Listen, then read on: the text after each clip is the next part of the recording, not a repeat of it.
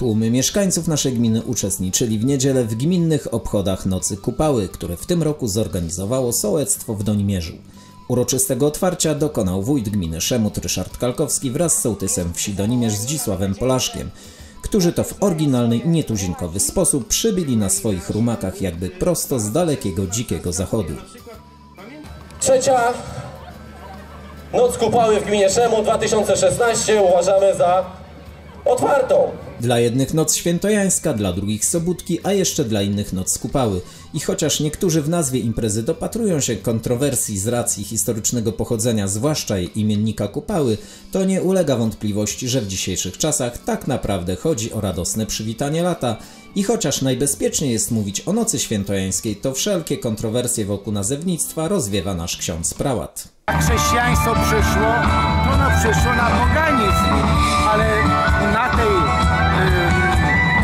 płaszczyźnie dokonawało chrześcijaństwo swoje i tutaj nazwa absolutnie nie przeszkadza.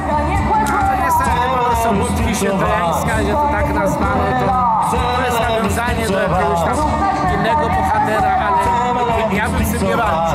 Najważniejsze, że pogoda dopisała jak na zamówienie. Rozrywek było co niemiara. Zgodnie z wcześniejszymi zapowiedziami przygotowano na ten dzień i wieczór szereg atrakcji, zarówno dla najmłodszych i dla dorosłych. Były zamki dmuchane, piłki wodne, można było spróbować swoich umiejętności na rowerze, pojeździć gokardem, spróbować sił w przeciąganiu liny czy piłowaniu drzewa na czas.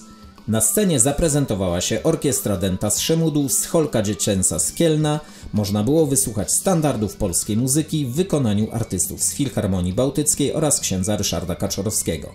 Gwiazdą muzyczną był zespół folkowy Fuchus z Wejherowa. Do śmiechu było nam z kabaretem.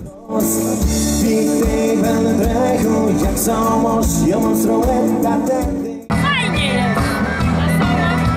A co najbardziej się podobało? Występy małych dzieci e, na scenie, zespołów tanecznych. Bardzo się podobało. Jest na wysokim poziomie. E, widzę, że dzieci mają bardzo dużo radości, czyli, czyli jak gdyby są tutaj e, zabezpieczone atrakcje dla dzieci. E, właściwie każdy znajdzie coś dla siebie.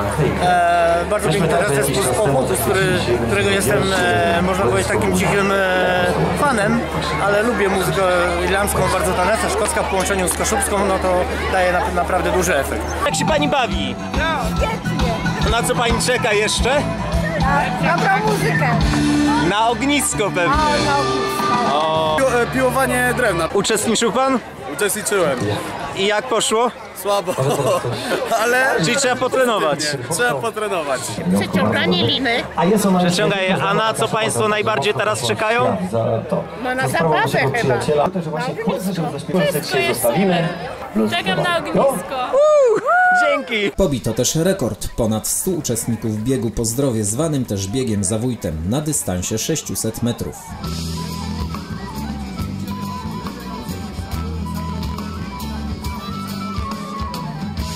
Ponadto można było pospinać się po belce, czy też spróbować szczęścia w trafieniu małym młoteczkiem w gwoździa. Jak widać, nie było wcale lekko.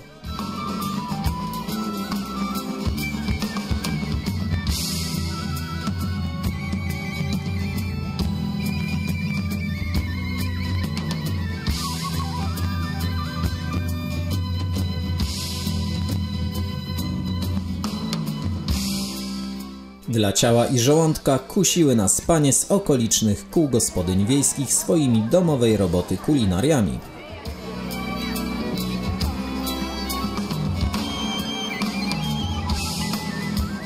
Szczególne słowa uznania za zaangażowanie się mieszkańców sołectwa Donimierz w całokształt organizacji Nocy Kupały wyrazili samorządowcy. Przede wszystkim ogromne podziękowania mieszkańcom, tym, co tu dwa tygodnie dzień w dzień pracowali. I ja widzę teraz, jak pan widzi, sam ile przyszło. Wszyscy jesteśmy zadowoleni. Można powiedzieć, wszystko zrobili jeszcze więcej niż na piątkę, tak? Można powiedzieć nawet celująco. To zaangażowanie, które było w ostatnich tygodniach, ono było tak wielkie. Wczoraj tu było ponad, ponad 30 panów ze sprzętem, którzy malowali, e, sprzątali jeszcze same końcówki. No super, super po prostu. Za to zaangażowanie tylko można powiedzieć wielkie, wielkie dzięki i razem myślę, można zrobić wiele. Bardzo się cieszę, że w powiecie wejherowskim i to w takich małych miejscowościach dzieją się tak wspaniałe rzeczy.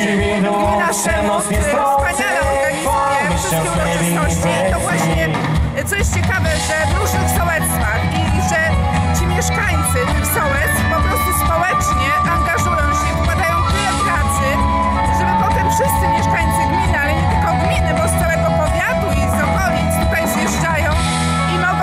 cieszyć się z tego, co przygotowano. A atrakcji jest tak wiele, że jestem pod wrażeniem.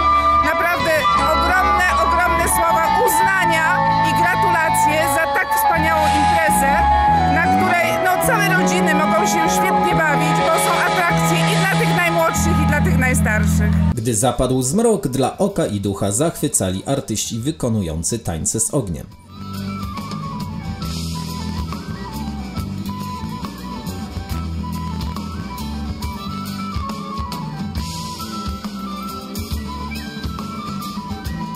Oczywiście nie gasło tradycyjne ognisko, przy którym pieczono kiełbaski. A kto najedzony ruszył do tańca w rytmach prezentowanych przez zespół Disco Polo. I tak do rana. Ciąg dalszy za rok w Przetoczynie.